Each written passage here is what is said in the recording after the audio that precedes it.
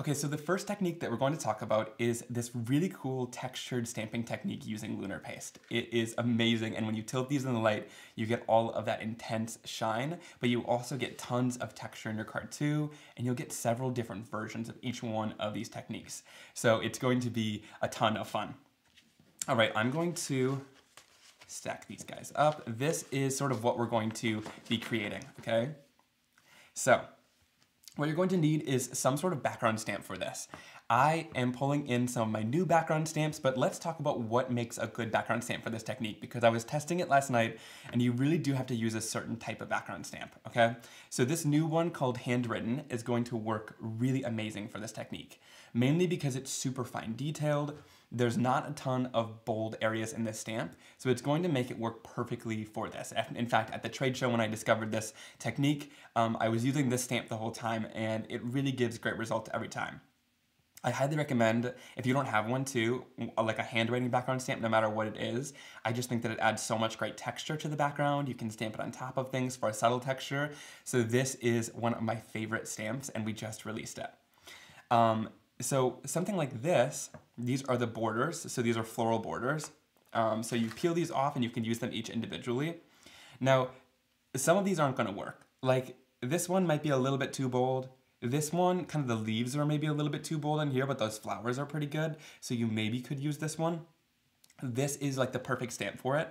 I did use this a couple times, and then this sunflower is completely off limits. Like this is not gonna work for it mainly because you want something fine detailed because if you have anything too bold, it's going to just squeeze all the lunar paste out of it, right? So you want to look for something fine detailed. This kaleidoscope florals background stamp is perfect for this technique. It worked amazing, and I absolutely love the look of this one. It could be sort of like florals, kind of for spring. Um, it has some peel apart sections, so you can stamp some of them individually, which is really great. And then I wanted to show this too, because we're gonna use this later for a technique, but for this technique specifically, this is going to be the most nightmarish of a background stamp ever, just because there's so much, um, there's so much, uh, uh, what is it, solid space in this stamp that it's just going to squeeze all the lunar paste everywhere and it's going to make an absolute mess. So really, something with super fine detail like one of these two background stamps is going to be absolutely perfect. All right, I'm gonna start off with this one, and maybe if we have time, I'll do both of them, but I do have examples with both of them in it that we'll be using. All right, so I'm gonna grab out a piece of my Simon Hurley Stark White cardstock, and before I bring the stamp down, I'm gonna set that off to the side, and we're gonna do a little bit of lunar paste. All right, so I can pull in any colors of lunar paste. You really want to have fun with the different colors that you can create with. Um, for today's cards, I was using more Valentine's Day colors, so I'll show you some of these that are some of my favorites to kind of mix together and create really beautiful blends. Um, but one of my favorite parts about this is you can mix together as many colors as you want, and it almost creates like a gradient of metallic cardstock, which is really beautiful. So I'll go in here. I'm gonna go in with a little bit of orange. This one's called Roar. And then I'll use a little bit of Prom Queen, which is this really beautiful like hot pink color. I'm gonna then go in with a little bit of Love Struck. This is one of the new colors. It's really a beautiful one. And then I'll also go in with a little bit of Crown Me. But there are some other great colors at the show. I was using this as a color combo and I really absolutely love it. Um, this one is Clear Skies, and then you'll go Later Gator and Tropical Tango. This was one of everyone's favorites, just because it kind of creates that really beautiful gradient of color from the blues and greens. So have fun mixing the other colors and kind of coming up with your own color combos. If you guys try this, be sure to tag me in your result. I can't wait to see what you guys create with it. So when it comes to laying down your lunar paste on the background. It's pretty easy. I'm gonna get just a little bit of paper towel ready so I can wipe off my uh, palette knife in between. This palette knife is from the Paste tool set and I'll show you the rest of the, the tool set later on because it makes it really easy to do this technique and get a really great result. So a little bit of this paste goes a long way when you're doing something like this. Now, if you add too much, don't worry. I'll show you how to use it later on some other backgrounds as well. But just like a little glob of color at one side is going to go a really long way. So I'll just create kind of a square of that paste up there. I'll do just the tiniest bit more. All right, we'll add that down, and then we're going to put any of the excess back into the jar. The thing that I love about Lunar Paste is that all of these colors are pre-mixed for you, right? They're all made out of different mica powders in each one. But what's really awesome about that is you can put it back into the jar once you're done using it, so you're not gonna have any go to waste. You're also not worried about like remixing any colors. So that's been one of my favorite things about Lunar Paste from the start, is you could just dig into that jar and get the exact same color every single time, rather than having to kind of mix reinkers and create your own colors. So it works out really well. All right. And then I'm going to go in with a little bit of Love Struck.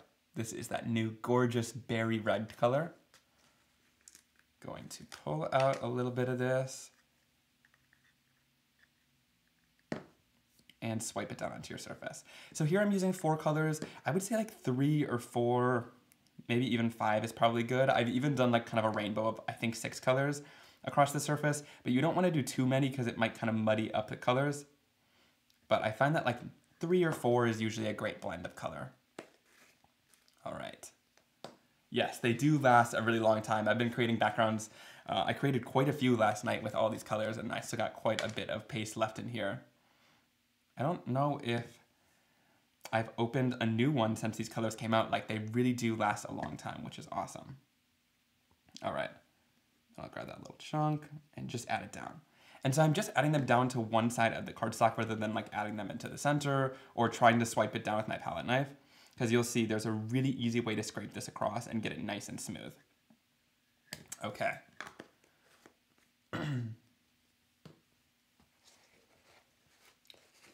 So I'll wipe off my palette knife, make sure that everything's nice and clean. You do, while you're working, you do want to make sure that things are cleaned off um, because once the lunar paste dries, it's going to be a little bit more permanent on the surface of these. So then with the paste tool set, you also get two scrapers inside of here, and these scrapers are super nice for creating really great and smooth backgrounds. I love them for kind of swiping across the surface and, and creating your own kind of really smooth effect, or if you uh, stencil, this is a great tool for smoothing your stencils out as well. So I'm just gonna go right in here, and I'm just going to grab that paste from the one side and sort of just swiping it over. All right, really super easy to do. Now if there's any little chunks in there, Sometimes the edges of the jars get little, get little clumps in them, so just pull that out quickly because you want it to be nice and smooth.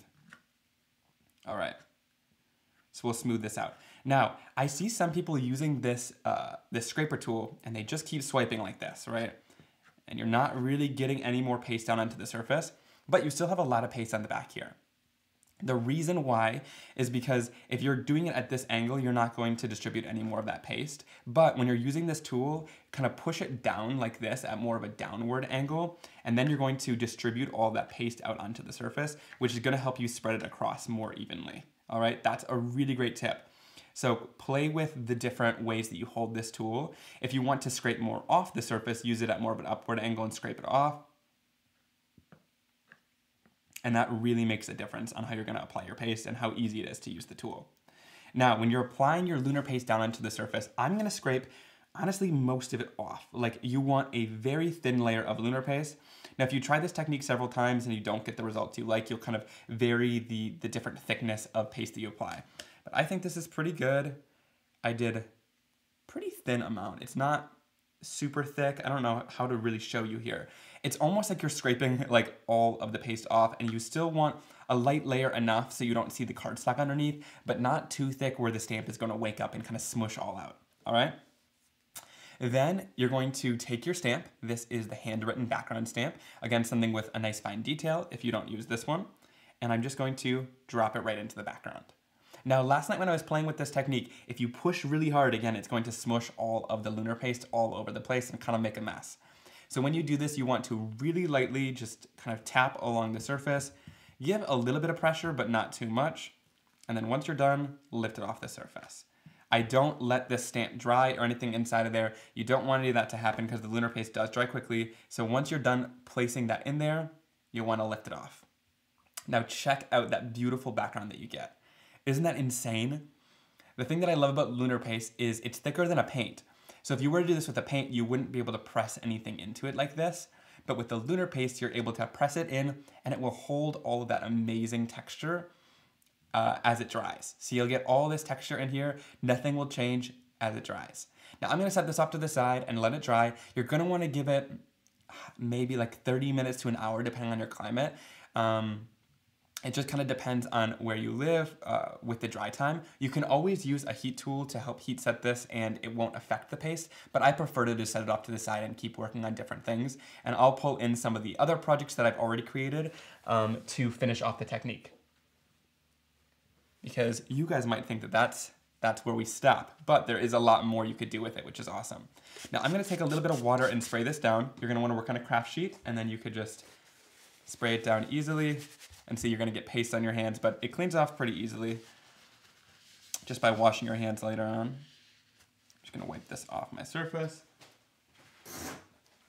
And a quick cleaning tip, when the lunar paste is wet, it will break down with water. So add lots of water down it, it'll help break down the lunar paste and keep it from drying while you're cleaning it. Um, but once that dries, it's not gonna break down with water anymore. It's gonna be kind of more permanent, so you'll have to sort of scrape it off the surface. So definitely clean it while it's still wet. Now with this technique, it's really awesome because there's other ways to use the background then. So we've still got a little bit of paste onto our background stamp. And before that starts to dry, I'm going to flip this over and stamp it down. Give it some good pressure. And you don't want to leave this too long on here because again, it's going to start drying and it might rip the cardstock, but check that out. Super beautiful. And the cool part about this is all the amazing shine that you get in the stamping, right? I love that. You get that metallic shine. Um, but also, it, it stands out against black cardstock too. The colors are nice and opaque, so you're getting some really great textured stamping with all of that intense color and pearlized shine too. So I love that. I think it's so cool. Let me set that off to the side because we still have another background too that we can do. I'm going to pull another piece of cardstock in here and I'm going to, yeah, let's do it this way. I'm going to take this. There's still a lot of paste on my tool. So again, instead of holding it upright like this, I'm going to hold it at this sideways angle so that we can easily distribute that paste across the surface. And check that out. Just this beautiful, smooth background of paste. And there's still a little bit on there. All right, I love that. How cool. So we'll let that dry, and then once this dries, the shine will come back to life even more. If you're using your lunar paste, it'll kind of lose its shine as you're applying it onto the surface. But once the water sort of evaporates out of here and it starts to really dry, then you get all of that amazing pearlized shine back. And this is gonna be an insane metallic cardstock, which of course you could die cut out of, but I'm gonna show you some fun techniques to use this as well. All right, now let me set this off to the side. I'm gonna quickly clean off my tools. And I want to talk a little bit about cleaning more in depth because now you've got a stamp with paste all over it, right? And that stamp has really fine details, which sort of makes the paste a little bit difficult to get out. But I'm going to show you a trick. So this is our background stamp. We got paste all over it. Now, if that doesn't bother you, um, it's not a huge deal, but sometimes the paste might resist the ink a little bit more and it, it won't create the best result. So if you want to make sure your stamps are nice and clean, one of the biggest things that I can recommend is this Ranger Rub It Scrub It pad. I absolutely love this thing. I've linked it down in my supplies list down below. It is amazing. I don't know if they uh, sell a lot of these, but it's like my pride and joy when it comes to cleaning out paste. Um, some of the other cleaning methods that I've found, like stamp cleaners and things like that, like those scrubber pads, sometimes like the, the hairs of them fall out. Um, sometimes when you close it, it gets sort of moldy and mildew. Um, whereas this is nice and open, so it's going to dry. Um, last night when I used it, I really soaked this thing and it's now completely dry. So it's not gonna become smelly or anything like that. And also this, this surface is more of like a spongy uh, chorus surface, but it doesn't have a bunch of little fibers that are gonna come off on your project. So I love this thing. I highly recommend one. I just take some water, kind of douse my stamp in water, and then I'll take this Rub It Scrub It pad, which has this nice foam base, so it's pretty easy to grab onto. And I'll just simply scrub. Rub it and scrub it, right?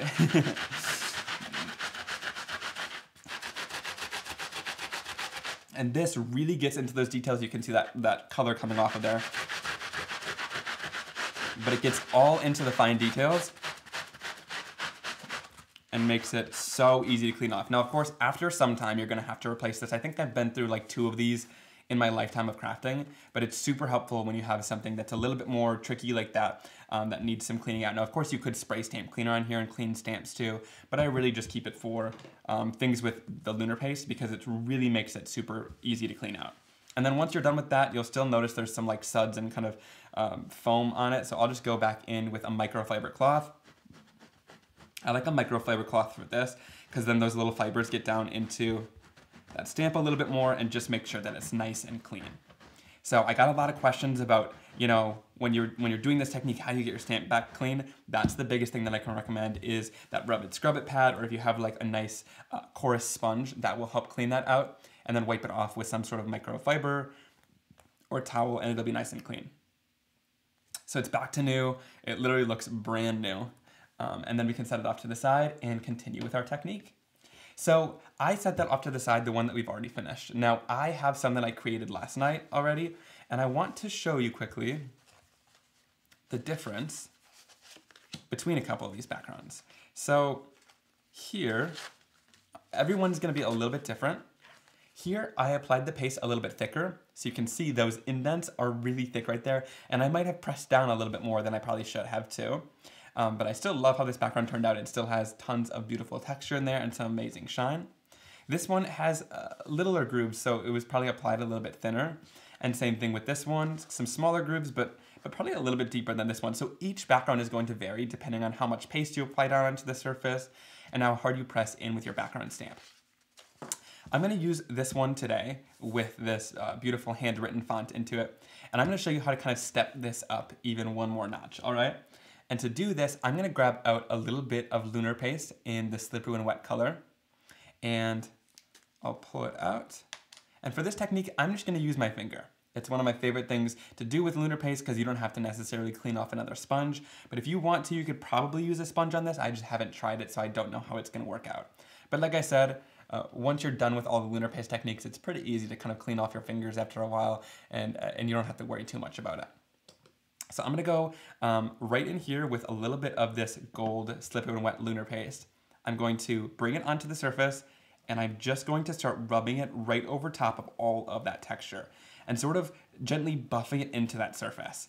And you can see that it's starting to catch on to that font that's underneath it because it has that nice indent in it, right? So this is a fun way to sort of highlight that texture that you've created with another color. And you could use any color you want. I happen to really like this Slippery and Wet Gold color just because it's a nice yellow gold. It's going to really stand out from a lot of the colors that we use in the background. But you could use whatever color you want to achieve this and get that sort of two-toned effect. And so just take a little bit, again, a little bit goes a long way, and sort of swipe it across the surface here. And again, it's going to go into all of those debossed areas and create this gorgeous look. Now, you're probably like, Simon, this is absolutely a hot mess, right? Because now there is a ton of lunar paste all over this background in areas where we really don't want it. Now, before anything starts to dry, you want to go in with a paper towel, all right? And I'm gonna grab a little bit of water. Now you could grab the water on the paper towel like this and just spray the paper towel down. And now the lunar paste underneath, since it's dry, it's going to resist that water completely. So you don't have to worry about pulling any of the lunar paste up underneath. And I'm just going to go in with a little bit of water and start wiping this off. Now, at the trade show, I just sprayed the water right down to the surface. I find that that works a little bit better. The, like I said, the lunar paste underneath is going to be completely waterproof. Because it almost forms like a plastic layer once it's completely dry. So you're not affecting any of that and you're just able to wipe off that top surface of lunar paste. All right. And now, check that out. How cool is this, right? You get this really beautiful background. You now see all the colors that you put underneath it. But now there's this insane, intense gold color that's in all of those debossed details that you created. How cool is that? So it's just a really fun way to add that, that gold color inside of there, get this kind of two-toned effect on your background, and really step it up and bring it to life. How fun is that, right? So pretty easy to do. By laying down that first layer of that color and getting that amazing texture there, and then if you want to, you could totally leave it like this. I think that this looks great as well. If you don't want to highlight the design and you want it to be more in the background, But if you really want to highlight that design a little bit more, this is a really fun way to do it by going back into that texture with another color of lunar paste, right? How cool is that? So many of you are saying, yeah, that's gorgeous. A foam dauber would give you definitely a similar effect. I don't know how it would work with sort of buffing it into that lunar paste, but, but definitely try it out. You can definitely use some foam and usually it gives pretty similar results. All right, now how cool is that? Okay, now last night when I was creating these backgrounds, I was like, okay, I love how that looks with the lunar paste, but we have a whole nother line of paste, right? That solar paste is still a thing too. So I wanted to test it out with solar paste. I'll share some of the results that solar paste gives as well, and some of the things you can do with it too. So let me turn back down to my work surface.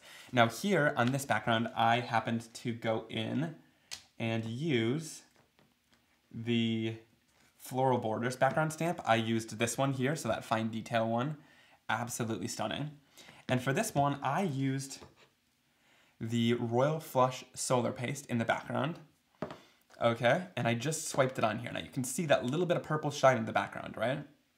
How pretty is that? But I didn't know when to stop here. So once this texture dried, I went back in with a lunar paste and I put it down into those that texture detail. So here again, you get that little bit of gold kind of leafing almost on top of all that amazing texture. And then in the background, you get that purple shine. So a really cool way, I'm not sure if I love these colors that I used here, but a really cool way to, to use the lunar and solar paste together and create such a stunning effect, right? Then I stamped off on the background. So again, you get that stamping. I don't know if you guys can necessarily see it, but I'll show you how to sort of highlight something like this as well in a second. Then you get that really beautiful solar pasted cardstock that you can of course die cut out of. Now, uh, I also used the solar paste, and this one happens to be the Cross My Heart color, and I used the Kaleidoscope flowers. This time, instead of doing a whole background, because solar paste is sort of that white paste, right, this, this blends in. So I wanted to just do like a swipe, like almost like a border across the card that you can then put a focal point on and have a little bit of interest just kind of trickling down the side. So here I just swiped down a little bit of that paste on one side, I scraped it down with my scraper, and then I, I, I put the stamp into here and you get that beautiful texture and that little bit of red shine once you tilt in the light. So I love these solar pastes. Sometimes um, in Germany, everyone was like, oh yeah, solar paste is only for black cardstock, right? Because you get that really bold color on black. But I love it on white cardstock mainly because you get that the less bold effect so that you still get that little bit of color and shine, a little bit of texture in the background wherever you put it, but then you can have your focal point be the, the true thing that stands out. So the cool part about solar paste is that they can really uh, stay in the background in case if you want a more simple card and you want your focal to, to really be the thing that shines on your card. Right? Then again, I stamped off. So again, you've got that little bit of like, can you see it? A little bit of shiny stamping there.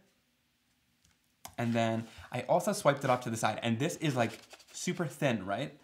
And even with something as thin as this, you can then take the stamp, press it down into here, and you get that textured stamping. So don't be afraid to try it super, super thin. I really encourage you to do it because honestly, notice how on this thin one, you have so much detail that's captured and nothing is really lost in that stamp. So I really think that could be super cool. Put a couple butterflies on this, right? And I kind of love that, that organic shape of it with the swipe that we just did. So fun. All right. Now I also wanted to show another thing to use these sort of backgrounds that we swiped them off, okay? I'm sort of jumping all over the place here, but I hope you guys are enjoying this. Just, I wanted to really inspire and hopefully let your mind run to then bring this technique to a whole other level as well. All right, because sometimes when I'm going, I was like, all right, well, I can put this in here and then let me take this and try to stamp it. So there's a ton of things you could do with this. Okay, so I want to go in, let's grab a couple of these too. I really like these backgrounds where they have the gradient. I think that's so fun. All right. And I'll just show you how to use all these backgrounds because you really get a lot of different types of backgrounds when you're creating things like this. Okay, I think I like, let's do this one right here, like this top one. All right, and this is just that thin layer of lunar paste. Now, like I said, this is great for die cutting um, because you almost create your own like a mirrored cardstock. But what I love about lunar paste is it's not as like reflective as a mirrored cardstock, so it doesn't look as tacky to me. That's one thing that I love about it. And then also I like that you can um, create gradients, right? Because on a normal mirrored cardstock like this, you're not gonna get those beautiful gradients. Okay. So with this, I'm going to then go in with a background stamp. I'll take the handwritten background stamp. And now if you tried stamping with a water-based ink, like if I stamped with my Simon Hurley inks, this isn't gonna stay onto the lunar paste. Because like I said, once the lunar paste dries, it sort of has like a plasticky layer onto it, and nothing's going to dry on top unless if it's completely permanent. So you have to have something that's more permanent than a water-based ink. So in comes the archival ink, and this is going to work perfect with this. Now, what I love about Archival is it comes in a lot of different colors. So if you want to sort of match a color more of the background, you totally can. I think today, let's let's do a couple. Okay, I'm gonna, for this one, I'll use a little bit of red and then I'll show you black as well, just so you can see the, the kind of difference in effects. So this one's called Vermilion. I think this red is gonna work beautifully with this background. And I'm just going to sort of take it and ink up this handwritten background stamp. Now, one thing that I think is kind of fun about these background stamps is if they're not perfect, so I'll sort of like swipe my ink pad and, and make sure it's not too perfect. All right, and I keep my background stamp facing up, and then I'll sort of take my background and place it into it. And then I like to grab a pressure tool and just apply pressure all the way around to make sure that everything stamps. then, oh, check that out. How cool is that? So a red is super cool because, like I said, it sort of blends in until you like tilt it, you can see a little bit of that texture. Can you see it when it's less shiny, you see more of the text? I think that is beautiful. And now with an archival ink still, I'm going to still go in and heat set this just to make it a little bit more permanent.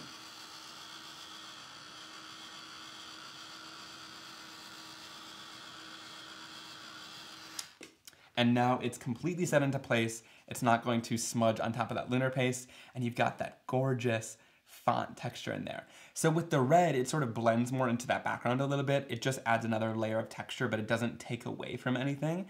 But I wanna show you it with black too, because I think that can be super cool. So let me go in here. I'll grab another one of these backgrounds that we created with the ombre of color. And I'm just gonna go in and let's just like tap on some of this. I don't want it to fully fill in. So I'll tap it, and then this time, you know what? I'm gonna stamp it down, but I'm just gonna use my finger to give some pressure and not the pressure tool because I don't want it everywhere. Cool. It kind of skips out in some places then. That's one thing that I love about these handwritten stamps is you don't need to stamp the whole thing in order for it to be perfect because it's already a little bit kind of skippity. There's already some little like ink blotches that dropped onto there. And so it just creates kind of this cool uh, texturized look into the background, but it, again, it's not going to really take away from the rest of the card that you're doing. So that black ink looks beautiful on there too, and I love that when the black ink goes off to the side, it just blends in with the background of that black card stock. So super cool, right? And then again, the archival ink is an oil-based ink, so it does take a little bit of time to dry when it's on a more slick surface like this. So I'll just go in and heat set it. And then again, it's completely dry onto that surface of the lunar paste and you can keep moving on with your card making. Tiffany says that script stamp is my new favorite. It's perfection. I agree, Tiffany. I use this new script stamp all the time. It's like I knew that it would be so great for just adding texture to backgrounds. I wanted something that was just great for texture and not necessarily the design of it, but just that it adds a, a great kind of script effect that you, that you can't really read, but you can still see all that amazing handwritten look to it. And that's what I love so much about it. It's not too bold and it creates a really beautiful effect. So that's a cool way to use these backgrounds with stamping on top of. A couple people asked if you can stamp on top of lunar paste. So I hope this answers that question. You totally can stamp on top of lunar paste and get such a beautiful effect with that, that script stamp or whatever stamp you use and, and using an archival ink. You could also probably use um, other permanent inks too. If it says that it stays on like plastic or something like that, um, that will work with this probably as well. But the archival ink is really nice because I love this for just um, waterproof stamping too. So it'll be great for lots of different techniques. Okay. Now let's move on. If you want to clean off your stamp, um, and, and again, keep it nice and clean, I like to go in with an archival ink cleaner. Um, this is a solvent-based cleaner, so it's going to clean the archival off a little bit better than just water would. Because usually I just stick to cleaning off with water. But if I'm using a permanent ink like this, the archival cleaner works perfect. And then I'll spray a little bit of water down. And then again, these microfiber cloths are perfect. because they just get down into those details and make sure that everything's nice and clean. All right, and again, good as new. I like to keep my rubber stamps perfect. Let me know. Let me know in the comments. Do you guys clean your stamps? Or do your stamps kind of stain? Um, I like to clean them off pretty much right away so that I can keep using them for techniques. You can see some of the techniques that I do are pretty messy, but the, the stamps and supplies I like to keep as clean as possible. All right. So now that I've done some of these textures and kind of background stamps, I also want to show how to use these stamp off techniques. Uh, specifically the ones with the solar paste, because I think these are super cool. Now with this one, I would create a card right out of that. I don't think you need to add anything to this one. But if you're doing like these stamp off borders where you have the areas stamped off, I want to show you, I want to test out something honestly, because I haven't tested it before this, but I think it's going to work beautifully. So this one I used the, I think Cross My Heart solar paste and I stamped down the kaleidoscope flowers. And again, you can't really see it. You can see a hint of that shine stamping in real life, but I wanna make this stand out a little bit more. So to do this, I'm gonna go in with a little bit of ink. Let's see. I'm gonna grab a couple different colors for Valentine's Day. We'll start off with a little bit of Prom Queen at the top. I'm gonna grab it on my ink blending foam. This is the domed ink blending foam. And I'm just gonna go in here and blend this out. All right, just as I thought. Okay, good. I didn't know what was gonna happen necessarily, but I thought it would be pretty cool. And this is why I love Solar Paste for doing this, is because Solar Paste almost looks white. So it's almost going to act as an embossed resist, except for this has that, that added shine to it, which I think is so cool too. And it sort of like fades off onto the edge because it wasn't perfect the way that it's stamped. And so I sort of love that edge you get that you can blend and fade out. Whereas embossing, it's a little bit more perfect when it stamps, right? Okay, so I'm just going to blend down onto the surface and follow that stamp design. We'll add a little bit more ink here into the center. That's cool. And so it just really highlights that design as you go. Now I'll add a little bit of, let's see, I'll do a little bit of red. We'll go in with some bee sting blend it into the pink.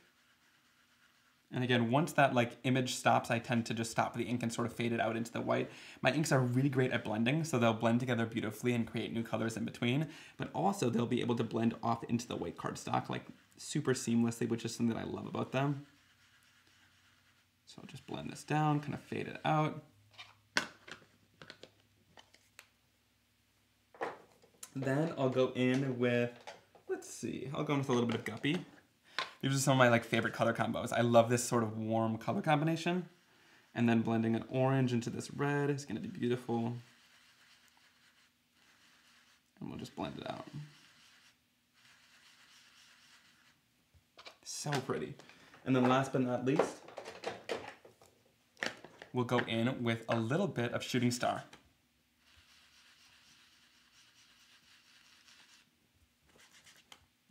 All right. That is so pretty. I love it. now, there's a little bit of yellow ink on top of here. So one thing you can do is go in with just a little bit of water. And I'm just going to wipe off the top surface of this solar paste, which is going to reveal the white cardstock underneath and take any of the ink off of there. All right, so it'll create more. Sometimes the ink sits on top of the surface there, so you just wanna clean it off a little bit and then you get that gorgeous effect. So super cool. Again, it's a little bit different. I don't know if you guys can see that shine, but in person, the shine is a little bit more prevalent.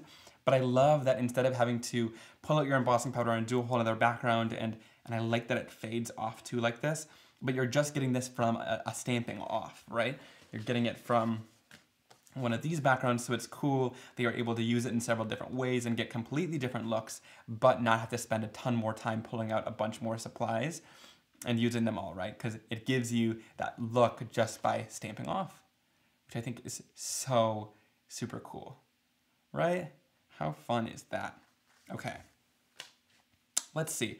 Now I'm going to jump into another background and then at the end, we'll sort of put some of these cards together and give you some ideas on how to put them together. Does that sound good? I had some other things planned, so I wanted to still get to that, show you tons of inspiration in today's video, and then we'll jump into some of the stamping too, and I'll share a couple little ideas on how to maybe put these together as well, because there's some fun things with that. Okay, so now the next technique that I wanted to show is a really fun sort of Joseph's coat embossing technique. If you, I don't know if you guys have heard of that before. It's one of my favorites. It's kind of an old technique, but I like to revisit it a lot.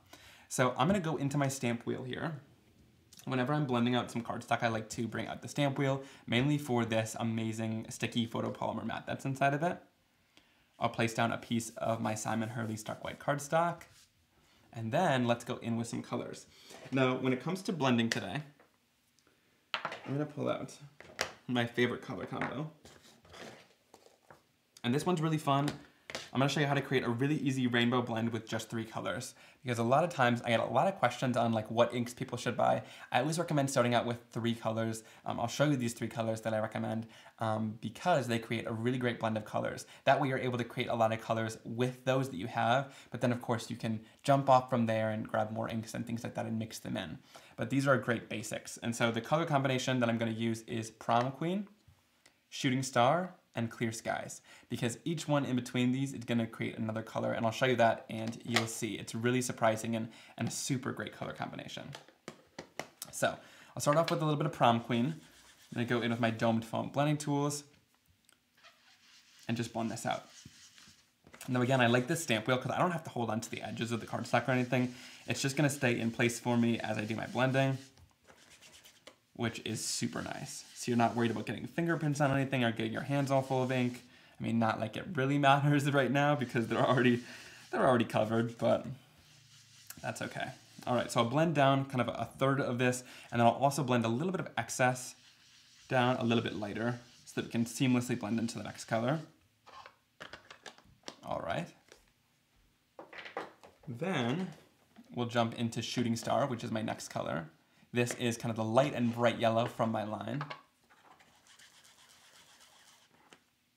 I'll blend this right in the center, but again, I'm gonna take it up a little bit so you can see that when it blends in with that pink color, these are translucent dye-based inks, you can see that really great orange that it creates in between. So I love that it creates these new colors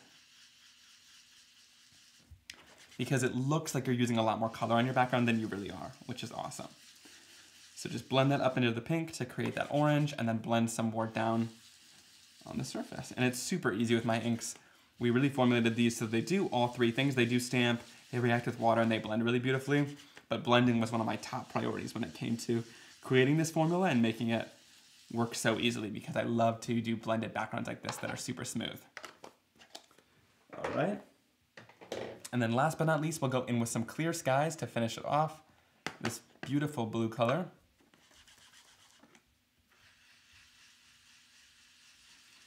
And you can see that when I bring that into the yellow color, you get a nice green in between there. So it kind of creates this darker mid-tone green color when you mix it together. So that's why I love this color combination.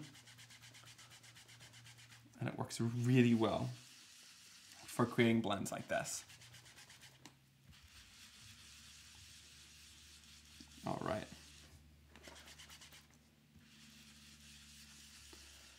Yay! Janine says, I love this color combination. Thank you guys. I'm glad you like it.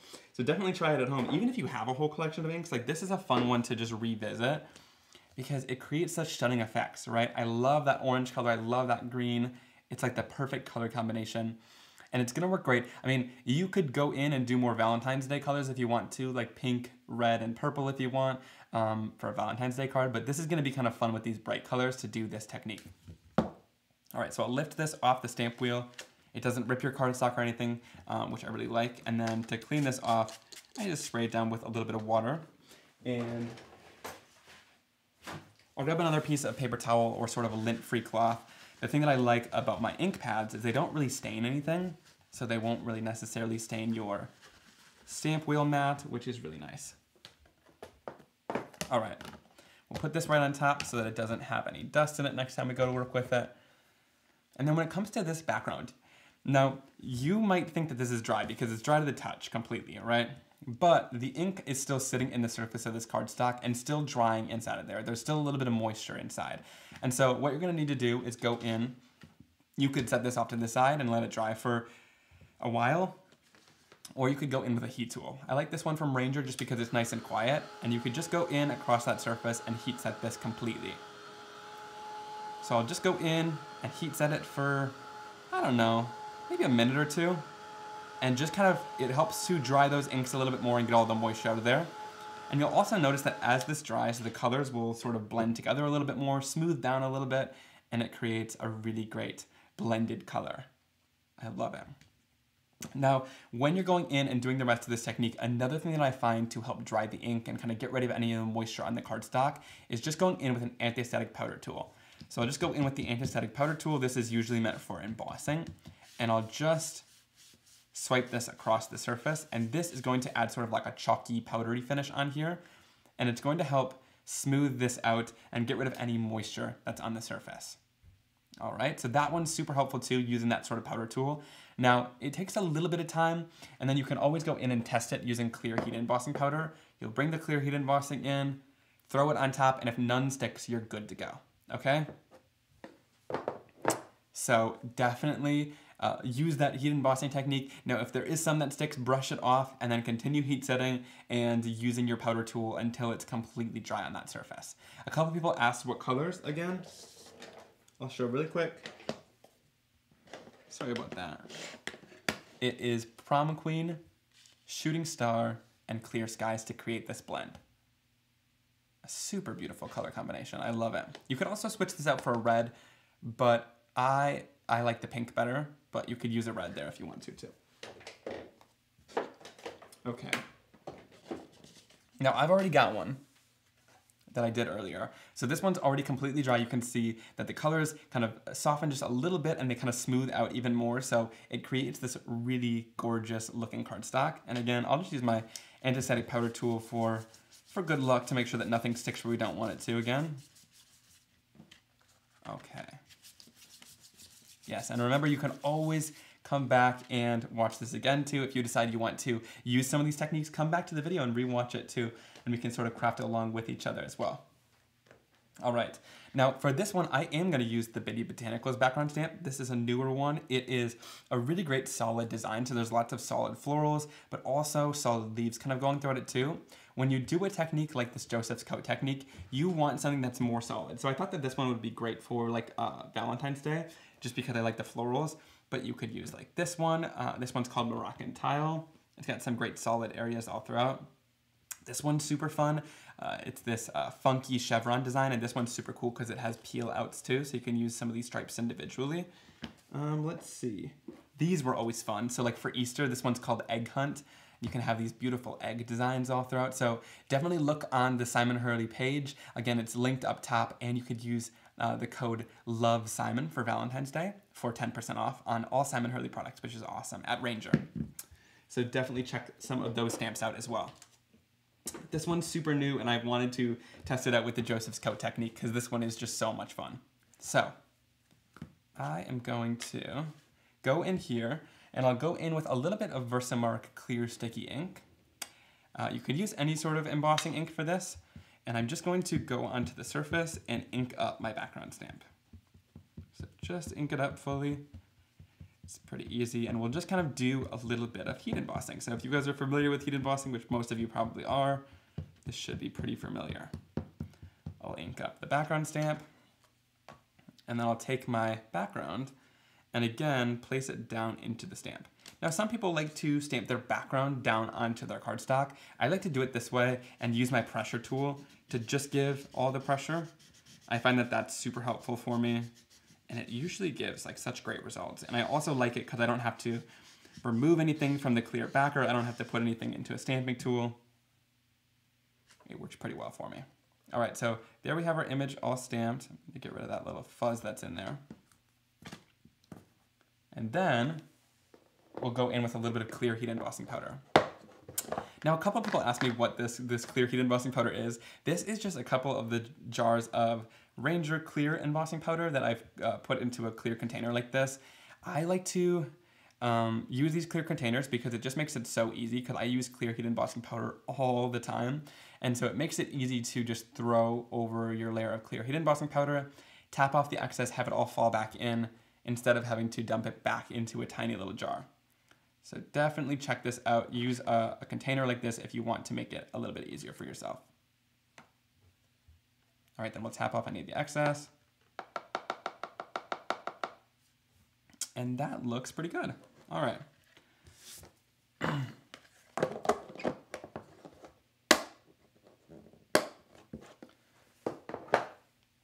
And then we'll go in and heat set this. Now, to heat set it, I use a different heat tool. I use one that's a little bit more directed. It gets just as hot as the Ranger heat tool, but um, this one is going to direct the heat a little bit more and, and, heat it up a little bit quicker. Now, I'm going to turn on my heat tool for a couple seconds and, and heat it off into a different direction, just so that it helps heat it up, and then I'll go right onto the embossing and heat set it, okay? And this is gonna be beautiful. It kind of, once it turns clear, it really brightens that color up and it's, it's beautiful.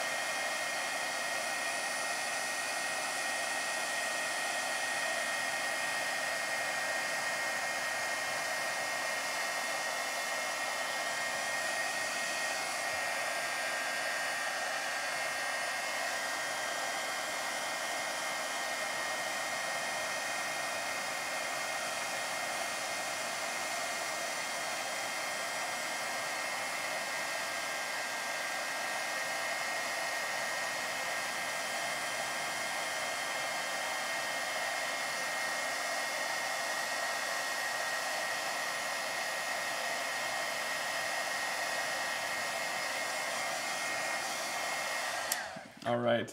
A couple comments. Lots of you guys are saying you you clear heat emboss every time you stamp now because of me. It is something that I do quite often. It really helps um, kind of seal any ink that's underneath, but also I love the look of that little bit of shine. Like this is a fun background even just as it is now because it gives more of like a tone on tone look.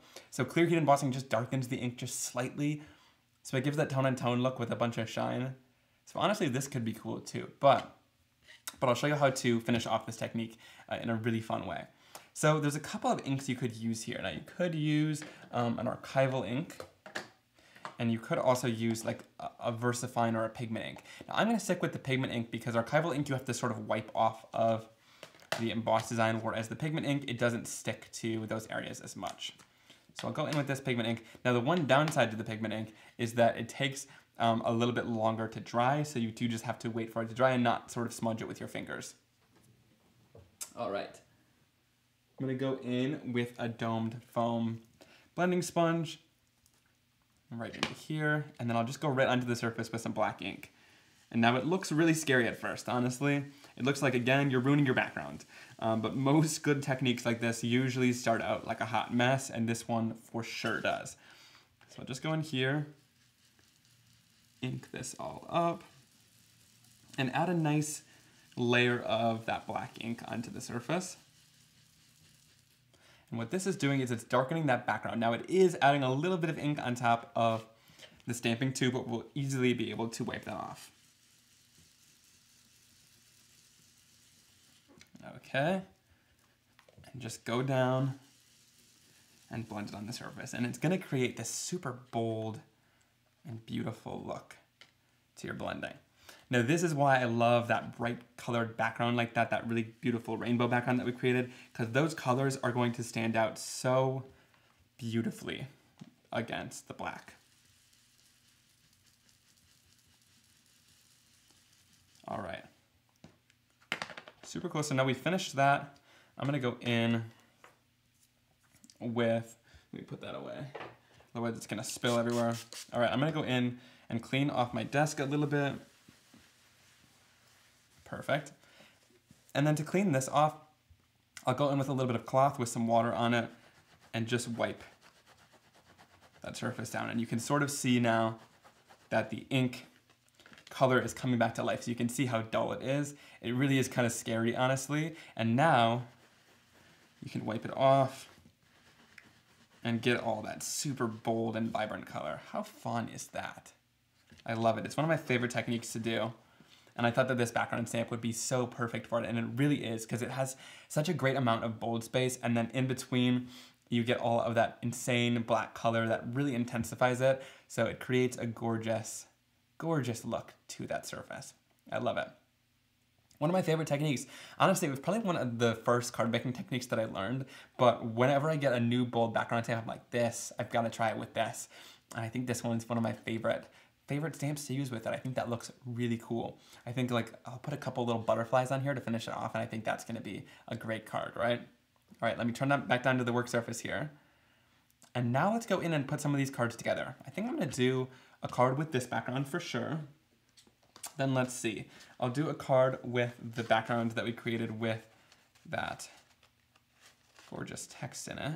I really love this one. And then let's do Let's do something else that's pretty easy. I like this one too. Just because I like how subtle it is. And I'm gonna show you how to, to make a card with something so subtle like that. All right, we'll do something super quick and easy. I'm gonna go in and use, um, let's do a couple of things. I'm gonna go in and use this for a couple of the cards. I love this uh, stamp set. It's called Beautiful Blooms. This is one of my favorites. It's got all of these gorgeous florals to it which is beautiful. And of course you could stamp these in black and white, or you could stamp them in different colors to give them their shading, and they also have a coordinating die set from Spellbinders.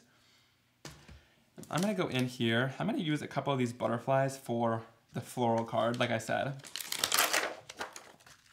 I think that'll be sort of fun to have a couple little butterflies flying around. okay, and then let's see. I think with this one, I'm gonna have like a floral right in the center. I think this one's kind of fun. Let's do this. That sort of rose looking floral, I think that'll be good. Okay, now when I do my stamping, I'm going to add my color in. I'm gonna go in with a little bit of red here and ink this up. I'll ink up just the top of the flower first. Now I think that sometimes these florals can look a little bit too bold at first, right? with all of just that black ink. So I'm gonna go in here, line this up, and stamp it down in that red color. Think this is gonna be really pretty. Now the reason I'm doing it in my stamping tool is in case, yeah, that's gorgeous. See, so there you have all of that amazing color and all of those shading lines where they're a little bit darker, it then creates that darker color in that area. Thank you so much, Amy, I really appreciate it. Okay, so how fun is that? All right, now I'm gonna go in and I'm gonna use some of these little detail blending tools. These are from Ranger, and I like how small they are because we can add ink into much smaller areas onto the card. The thing I love about these is that they are a little bit darker and you can get them into smaller areas. Now they're dual-sided, so you can work a lot with them. And I'm gonna go in here. I'll use a little bit more bee sting to stamp it down and just add some in a couple different areas across the flower. Now I'm not really too worried about like where I add it and where it really makes sense, right? I'm just gonna add it in a couple different areas. And stamp it down. Check that out. It just creates a beautiful blended effect. I really love it. So I'm gonna go back in to those areas a little bit more.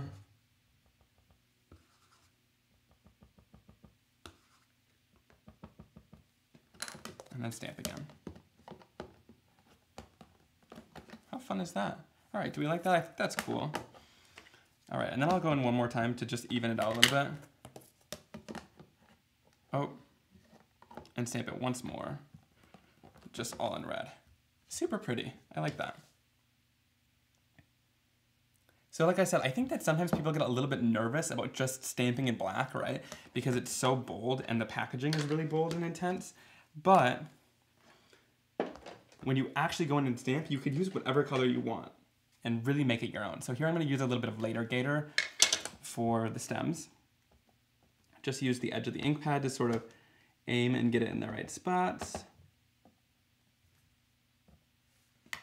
All right. And then I'll stamp that down. Ooh, I love that. Okay, and then do it one more time in this color, and then I'll go in with a little bit of a darker, deeper green and stamp it down as well. Now, I, I haven't done it with this stamp set before, but I do love these stamps that we've been releasing. There was one called Halftone Holiday too, where there's just so many different lines in the stamp, and it makes it so that it's a really great stamp to just add coloring with inks like this, so that you don't have to necessarily go in and color it like watercolored or something like that if that's not your thing, right? So I'll go in and I'm just going to add down a little bit of fake plant all throughout. All right, I'll tap some down on the stems here. All right.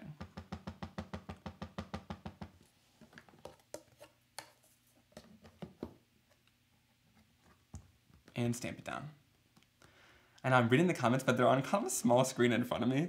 So sometimes they're a little bit hard to read. But I'm trying my best. I'm trying my best to interact with everyone as well. But sometimes when I'm so focused in here, it's a little bit hard. So I haven't been seeing what's been going on in the comment section too much, but I really appreciate you guys. All right. I gotta get back, gotta get back into it because I used to be able to like read the whole screen as I was crafting and like just look up at the screen while I'm doing it. And I'm like, that is, that's a little difficult, especially when you haven't done it for a year or so. All right, something I really love about the stamp wheel is that I'm just able to lock it into place and then like clean off my stamps and not worry about what's underneath it, which is awesome. I'll wipe that off. Again, I love that my inks don't stain. And then I think that's perfect. I think that's good. I think that's all I'm gonna stamp with this. I was gonna do it in black too, but I don't think I need to. Um, and then we'll stamp some of these butterflies out too. Let's do that. So we'll just lay them down. Let's do them like this. It's gonna look weird how I'm, how I'm laying them down, but I want there to be separate room because you guys know if we're die cutting these, there's gotta be enough room in between each one so I don't have to run it through a million times. All right. And then I'll go in with a little bit of VersaFine Clair ink again and ink it up. All right.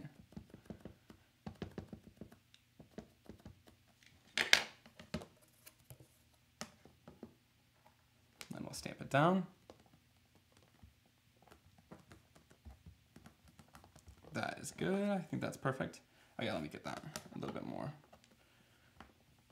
Just give more pressure in that area and then it should stamp. That looks great. And then again, I'll lock into place and clean it off. Again, these things, these microfiber cloths have been game changing for cleaning and making sure your stamps, like all the little details of the stamps get cleaned out. All right. Then I can go in here. And let me go in and do some clear heat embossing powder. Like I said, guys, this is like my thing. I can't stamp without using clear heat embossing powder. It's just, it's now a thing. So I'll throw a little bit over the black ink. The black ink especially because it takes a little bit longer to dry. And I like the shine too that it gives. And then I'll heat set this till it's clear and shiny, and then I'll give you some coloring tips too.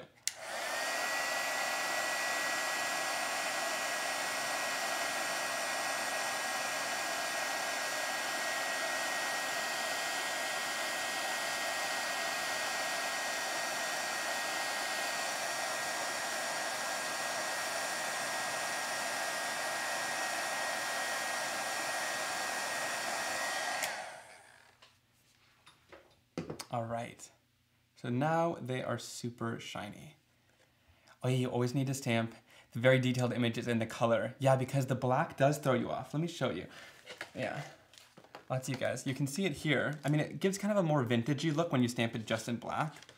But when you're using it in color like that, it really brings the, the image to life. Whereas on here, it looks kind of scary, right? So I wanted to show you guys that because it's like, it looks a little terrifying when it's in the packaging, but you really have so many options with just adding some color and coloring it in just like that without even using any ink pads, which is awesome. Okay, now let's go in and add some color. I think for these, I'm just gonna keep it super simple. What should I do? I could either, let me do, uh, let me do some watercoloring. All right. So I'm gonna go in with a couple different colors. I'll use a little bit of Guppy. I'm gonna add this down into my craft sheet. I'll also use a little bit of Prom Queen. And then let's see. I'll do a little bit of no diving too, which is this beautiful kind of mid-tone bright blue color. Okay. I like to add the water down onto my desk like this instead of um, in a cup because I will I will fully spill the cup of water. Whereas when it's on the desk like this, it's less scary. And then I'll go in and do my watercoloring. So whenever I watercolor, I like to start off with just a layer of water down onto the images first.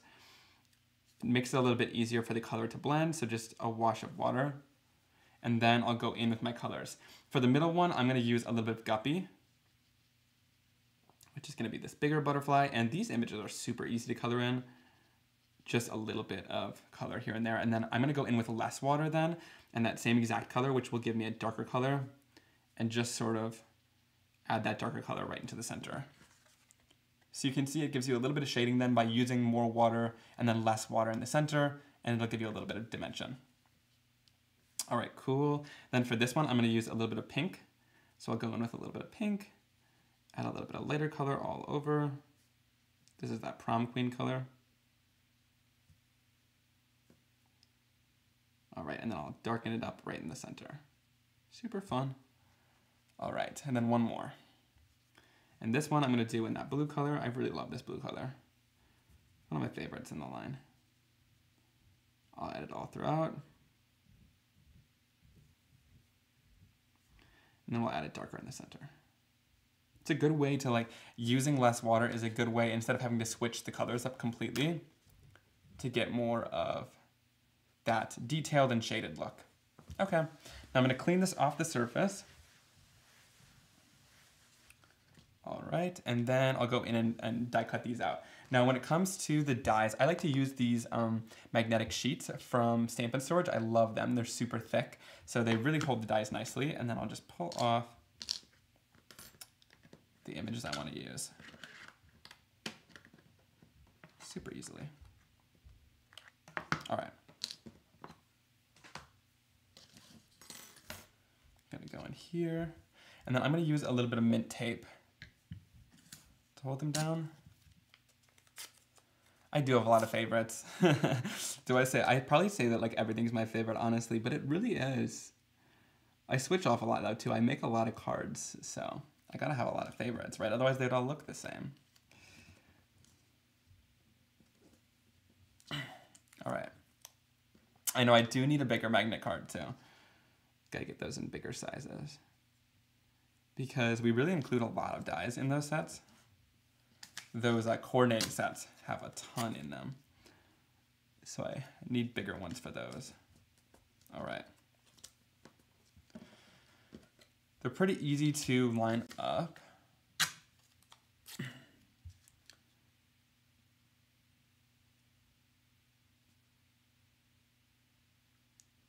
Let's see. All right.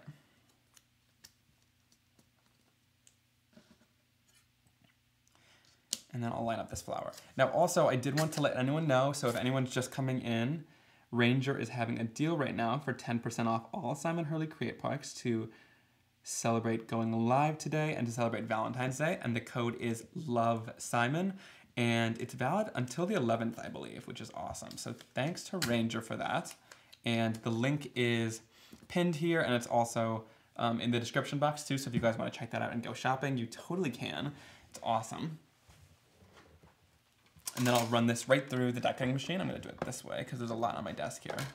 I finally replaced the top plate because I had cut through it so much that it was leaving like marks on my cards.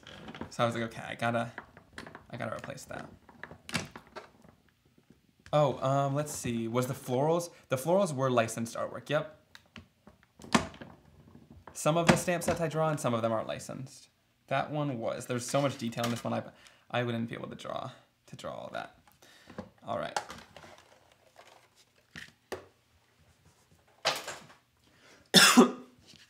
all right. So let me go in here, pop these guys out quickly. Okay. And then we'll be able to go in and put these together. So I think for this one, like I said, I think I want that. Oh, or do I want that? I think I want that. That looks good. And then for this one, we'll use these butterflies. Okay, I think that'll be fun. Cool.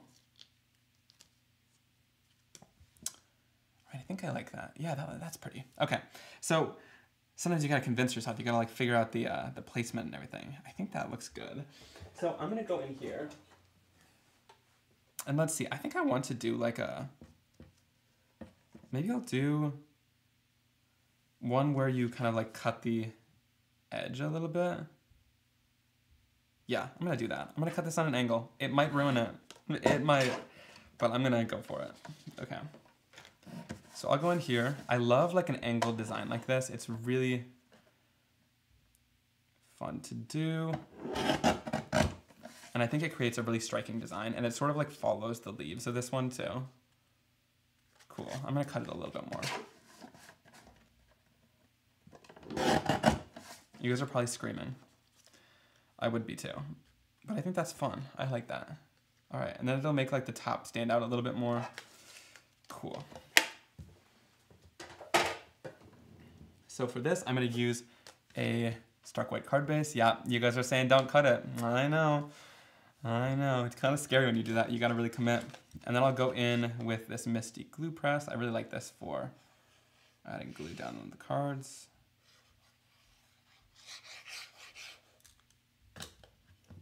All right, and yes, you could use the other side for another card too, which is awesome. Then I'll place this down.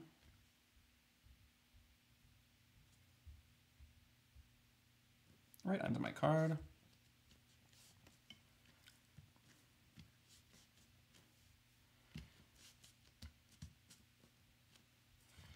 Okay. And then we could pop this right up. I think that's so pretty. I love it when the card is split like this. It just creates such a fun design. And it sort of follows along with those leaves and sort of the angle of the flower too. So I think that's pretty. Okay. Now, you guys are really seeing the whole inside look on my creative process because usually I don't put together a whole card live either, but and I sort of have like go-to card designs too. So this is like one of my favorites. Like if I'm like feeling in a little creative rut or if I don't know what to do with the card, I'll usually cut it at an angle like this. And that's one of my favorite ways to put it together. We'll just go in with a little bit of foam tape.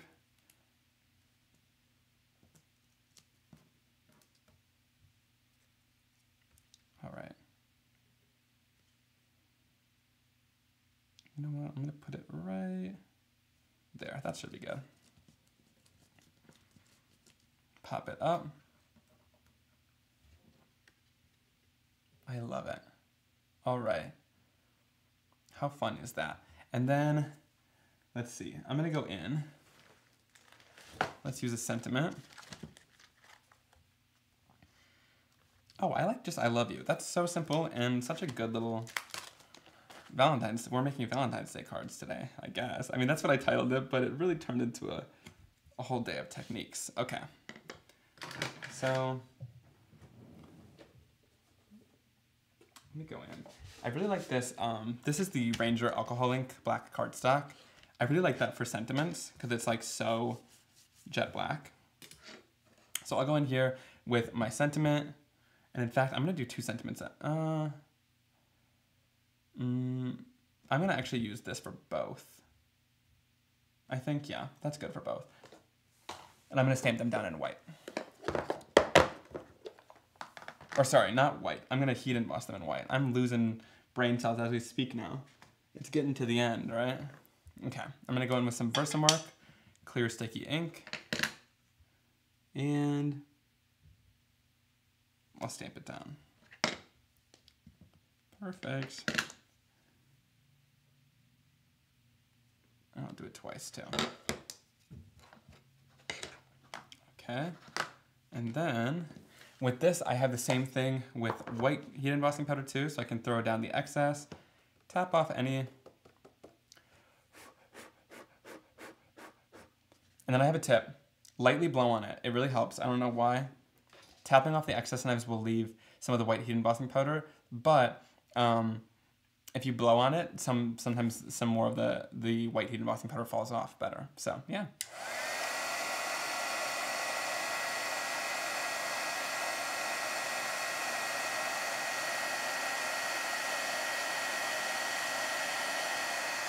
All right. So there we go, a really nice bright white look. And then there's a little bit of like excess powder on here. I just sort of take my fingers and the oil from your fingers sort of wipes it off a little bit more. And then we'll go in and cut it out. I'll use my guillotine trimmer.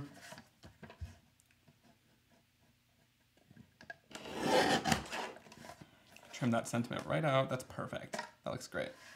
And then I'll go in here. I just like line it up with the edge of the guillotine. And that works pretty well. This little plastic guide you line it up with. And it makes sure that everything is nice and even. All right. Oh yes. Oh, Gina K does that too. That's awesome. Yeah, blowing on the cardstock, it really works. I don't know, like tapping sometimes, sometimes tapping gets rid of too much or not enough. And it's like, so I lightly tap and then I just gently blow on it too. And it really helps. All right, I like that. Cute, I like that. Okay, this is totally what goes through my head. I'm like, oh, do I like it or do I hate it? And then and you move on from there. I think that's pretty.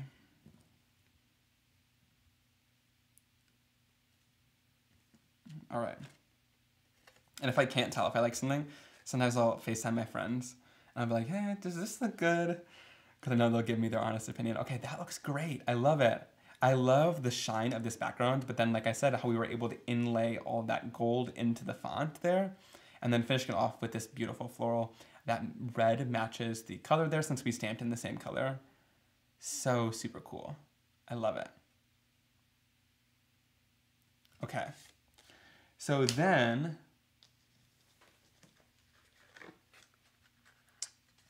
I'm gonna go in here and I'm gonna go in and just fussy cut this down. Or not fussy cut it, I'm gonna trim it down. Um, I'll go in and trim it down a little bit on each side. And then let's see. Sometimes I like to just cut the edges and see what it looks like. That might be pretty.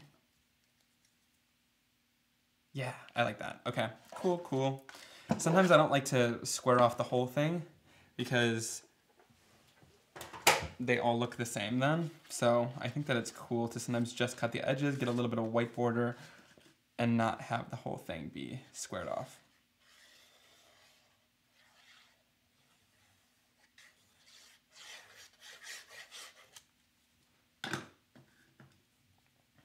All right. I'm going to place this down with a little bit of liquid glue. Cool. And it's got that nice even white border on either side then. And then, let's see, do I pop these guys up? I'll pop them up on some foam tape. And the thing that I like about using foam tape with these butterflies is I just take the slightest little bit of foam tape. So I'll just take like a little piece from the center like this. And then I'll put it right in the center only on these butterflies, leaving the wings um, not adhered. And then I'll go in and I'm gonna adhere that down like right near the yellow and orange. So we color these strategically because then this pink one will go right up by the pink color And we'll just put them at little angles so that it looks like they're flying. Pretty.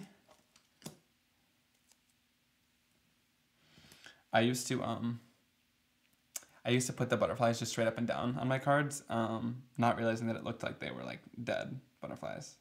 So definitely put them at an angle if you want to make it look like they're taking flight. All right, and then, guys, where did I put that? Oh no. Oh, right here. I was smart. I put it on top of a jar of lunar paste. Okay. And I'll just add my sentiment down. Right there. Cool. How fun is that? So two really great, easy Valentine's Day cards. I love this. I love the Joseph's coat technique that we were able to do to create that really bright and bold background, but yet giving that black ink on the background to add tons of contrast to it. Really super pretty. And then again, finishing off with those beautiful Blooms stamp sets. Turned out really great. I love it. Well, so much that happened today, guys. Um, I love all these backgrounds that we created with, with all of you guys, with all the different lunar and solar pastes as well, all the different textures we were able to add, and then even going in and doing some things with like solar paste too and doing resists. There was a lot. And then turning some of them into cards was so much fun. So I hope you guys learned a little bit from today's live. Um, it's been, like I said, a year and a half. So hopefully it went smooth enough. Uh, it, it wasn't perfect, but um, it was tons of fun. I'm glad that I got to share that technique with you guys with that kind of textured inlay with the lunar and solar paste and then that fun Joseph coat technique. It's a good one. Yes, lots of guys are saying you haven't done the Joseph's coat technique, but it's so fun. Um, putting whatever colors you want underneath it and then putting that black on top really makes it shine.